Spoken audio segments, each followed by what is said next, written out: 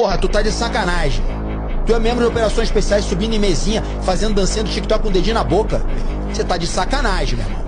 Não interessa o que que. Ai, mas eu. É minha hora de lazer. Porra, tá de sacanagem, meu irmão. Hora de lazer, pô, isso é brincadeira. Sempre existiu os desqualificados em todo lugar, sempre. Mas hoje tá, hoje tá a internet. E você tem que saber que certas coisas você não pode fazer. Você não pode, você representa toda uma classe. Pô, tá de sacanagem, não, isso é brincadeira. Tem que ter uma respeitabilidade ali, tem que manter um código de conduta padrão. Outra coisa, falar igual bandido, agir igual bandido, o cara se veste igual bandido. Pô, pelo amor de Deus, vambora, meu irmão. Vamos, vamos raciocinar.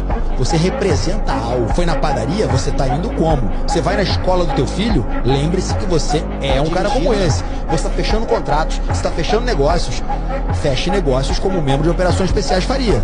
Sua palavra não precisa de estar num assinado com porra nenhuma, não. É igual antigamente, filho do bigode, meu irmão. Tu aperto de mão é tua palavra, tu aperto de mão é o contrato. Cumpre o que você falou.